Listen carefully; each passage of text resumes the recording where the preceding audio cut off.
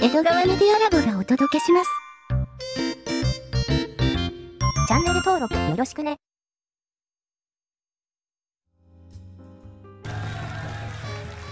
はいどうもご視聴ありがとうございます。今回はですね、渓谷の掲示板からのご紹介でございます。渓谷民。渓谷人が議論が下手な理由ということでね。えー、それではですね、こちら、スルーシの格好を見ていきましょう。くーちゃんお願いします。これは個人的な考えです。一議論をバトルと考えてる。ディスカッション口論と考えてるから勝たなければならない。だから少し話が噛み合わないだけで口論になってしまう。最初のディスカッションのテーマから外れて人格攻撃や罵倒が始まる。このコミュニティも同じですよね。に正しいことを認めない。ディスカッションにおいて合意に達するためには、とりあえず事実は認めなければならないのに、自分の考えと違う場合には、それが明らかな事実だとしても認めない。つまり、物語は A 地点の結論を出してから B 地点へ、そして C 地点と向かうもので、一歩ずつ前に進んでいかなければならないが、A 地点で意固地になるせいで、次のステップに進めない。3議論をしない。最近は学校でディスカッションの時間があるのかは知らないけど、昔の教育ではディスカッションする教育課程自体が存在しなかった。先生が教えて黒板に書いて、学生はそれを受け入れて覚えることしかしなかった。議論をしたことがないから慣れていない。だから海外留学した警告人学生は成績はいいのに議論には参加できず話が通じない言われることが多いのです。学校でディスカッション？ディスカッション。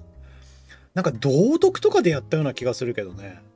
でもほとんど記憶ないね。あ。皆さんどうですか？学校、まあ大学とかだったらあるかもしんないけど、なんか中学校とかでなんかちょっとやったぐらいかな。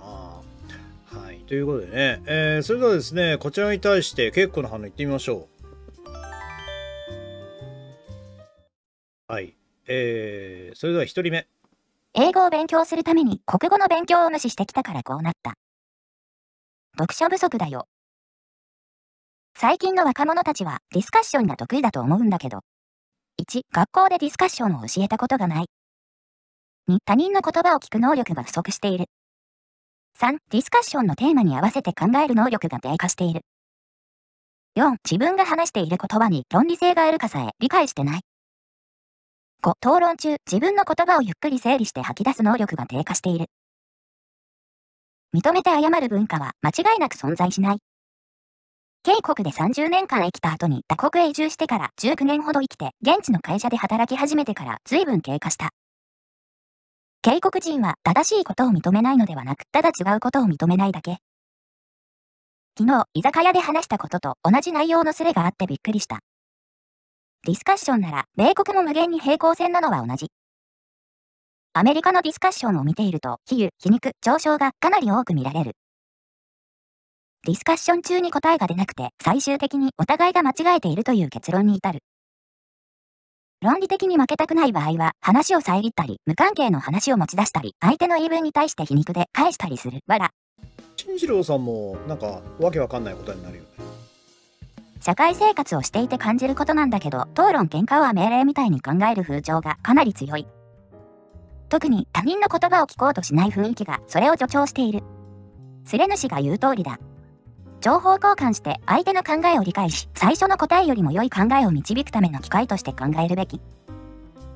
だから、ディスカッションの教育や練習を教育課程に導入し、生徒同士が普段の考えとは異なる主張を擁護するような時間を設ければいい。誰かの発言に問題があると、そのことについて指摘するんだけど、結局は口論になってしまって、論点があやふやになってしまうことが多い。そして、議論とは直接関係ない話を長々としていることが多い。違いを認めて受け入れる気持ちが必要なのに、それが欠如してるんですよね。自分の意見と違う部分を1%でも指摘されれば、その人を排除しようとします。こういう一方的なスレこそディスカッションが下手くそになる原因だと思うんだがそう個人的な意見つってんのに？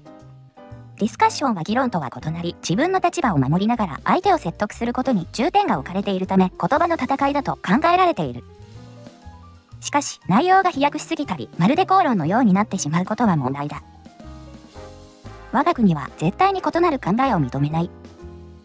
警国は感情的な言動と行動をとる傾向が強いようです。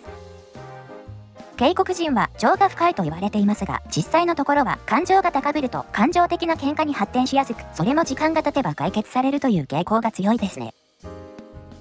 幼い頃から競争ばかりさせているから。はい、ということでね、えー、それではですね、こちらに対してチャットの反応いってみましょう。はい、えー、それではですね、上の方からいきますかね。すぐ感情論になるやん。すぐ感情的になるから。相手を思いやらない自己主張ばかりだからじゃね。そもそもすぐに話をそらす。論理的じゃないんだよな。感情最高だからな。人の話を聞かずに自分の言い分が通らないとファビョるから、そもそもまさしく言葉を理解できない。すぐに感情的になり、わがわがになるし、負けたら終わりだからやろ、エミ。議論が下手なのは基本議論がないのに、その場しのぎで話をするからですよ。まあ学者レベルで売りに愛はないにかっていうレベルでもお察ししてください。かっこ笑い。まず相手が議論したいと思ってるのか、最終回答を待ってるのか、その辺を把握するところから学びましょうね。自分の頭の中がまず正しいっていうこととともに、相手の言葉が理解できないという相乗効果で会話にならない。言葉の投げっぱなし。お前らは思い通りにならないと、すぐファビョって論点ずらすだろ W そんなのと、何の議論だよ、わら。K さんちはディスカッションって自分の言い分だけを通すことだと思ってそう。間違いを認めない人間は会社ではリストラ対象だな。認めて謝る文化は存在しないが、いつまでも謝らせる文化は存在するね。難しいよねディス。ディスカッションとかね、ディベートとかね。あのー、自分の意見を押し通そうっていうやつが一番嫌われるよね。資料があってもどう、おといぎ語で飛んでもなく、むちゃくちゃな文章なんだろうな。Google 翻訳韓国本をちょっと読んでみたい。わら。議論ってより前に、人の言葉を聞いて解釈して、何が最適かを判断する能力がなさすぎる。わかりやすく言うと、進む次郎な。ディベートとディスカッションは違うと思うんだけどな。お前らがディスカッションが得意だったら、今頃徴用工やヤンフはぶち込まれてるだろ。しなければならないって言ってればそれっぽくなると思ってるな。そうだね。その傾向強いね。韓国さんもね。我が国は別の意見は受け入れないやっぱ権威主義の社会主義国の方が合っているような気がするんだが。感情を抑えることができないのが問題では？